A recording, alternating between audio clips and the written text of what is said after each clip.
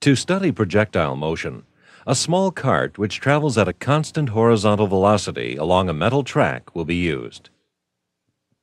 Attached to the cart is a spring-loaded cannon, which, when the cart passes over a particular location on the track, propels a small ball vertically into the air. The combination of the horizontal motion of the cart and the vertical motion of the ball can be used to examine two-dimensional motion. Once it is launched into the air, the ball does not fall behind, but instead is caught by the moving cart. We see that at each point of its trajectory, the ball remains directly above the barrel of the moving cannon.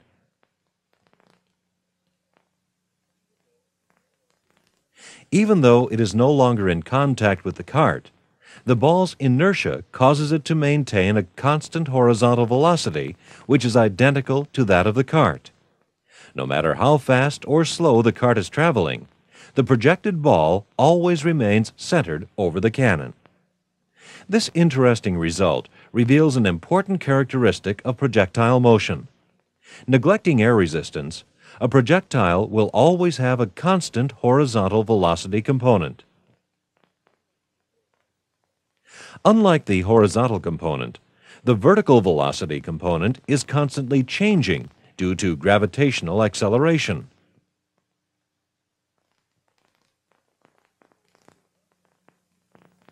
The combination of the constant horizontal and changing vertical components causes the ball to trace out a parabolic-shaped trajectory.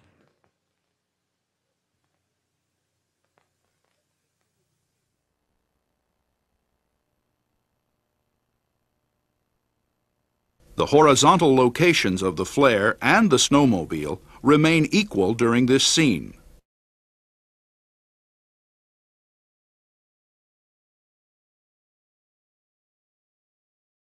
The horizontal components of the velocities of the flare and the snowmobile are zero.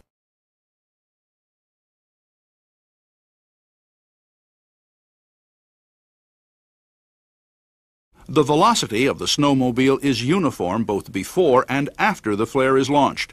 The flare travels along with it.